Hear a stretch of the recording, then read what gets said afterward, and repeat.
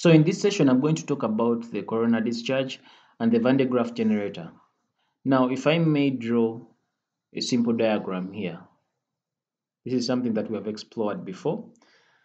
If we are having this being an a conductor, if we are to make to illustrate the charge distribution on this conductor, let's say it's there are positive charges on this conductor you'll realize that on the flat surfaces or the surfaces whose curvature is low, the you know there is space between the charges, as you can see, that the charges are not so crowded. But as we get to the point where the the curvature is quite small, then we have a concentration of charge.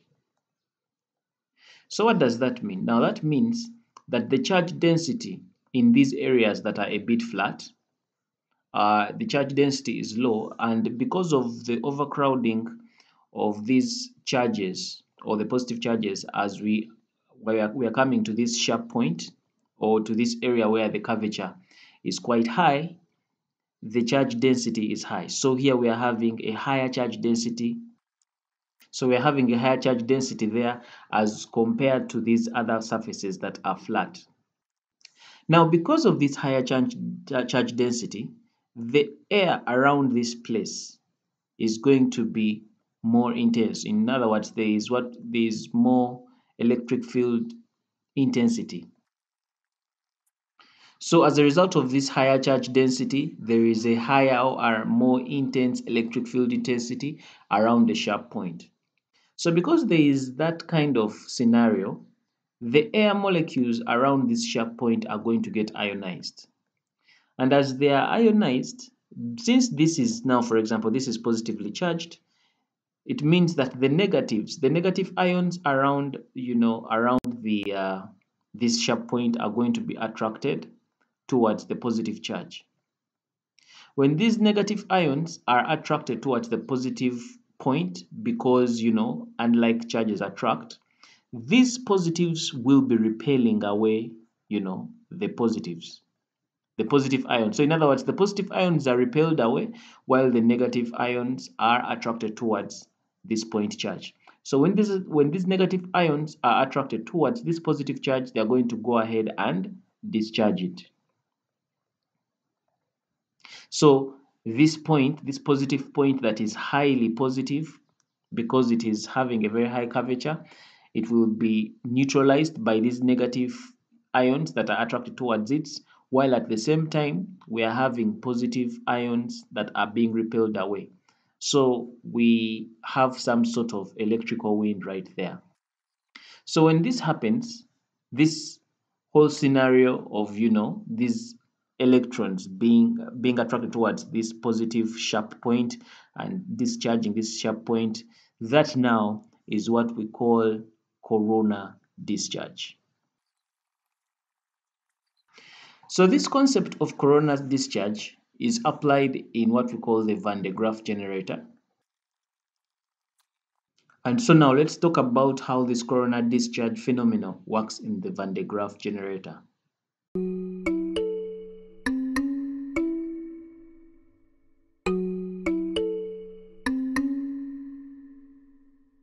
The year 1929, American physicist Robert J. Van de Graaff gave a solution by designing a machine which collects static charges and produces a large amount of electrostatic potential difference up to 10 power 7 volts. This Van de Graaff generator work, works on two principles electrostatic induction and action of points. Electrostatic induction is a process of generating static electricity in a material without touching it. The electric charges on the surface of a charged object do not necessarily spread out evenly. They accumulate more at the sharper areas than at flatter areas.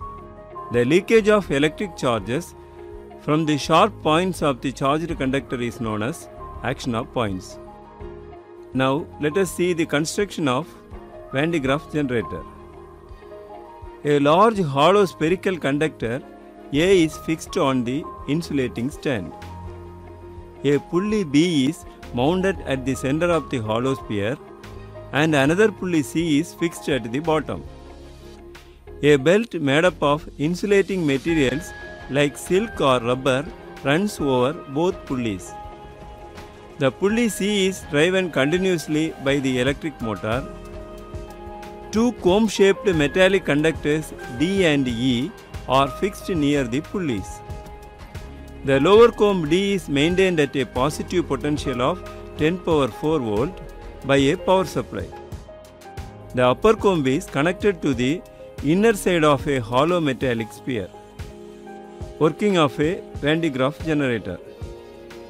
There is high electric field near the comb D, so air between the belt and comb D gets ionized due to the action of points. The positive charges are pushed towards the belt and the negative charges are attracted towards the comb D. The positive charges are stick to the belt and they move up. When the positive charges are reached to the comb E, because of the electrostatic induction, comb E acquires negative charge and sphere acquires positive charge. The acquired positive charge are distributed on the outer surface of the hollow sphere. At the same time, the negative charges produced due to the corona discharge nullify the positive charges in the belt before it passes over the pulley. When the belt descends, it has almost no net charge. At the bottom, it again gains large positive charge.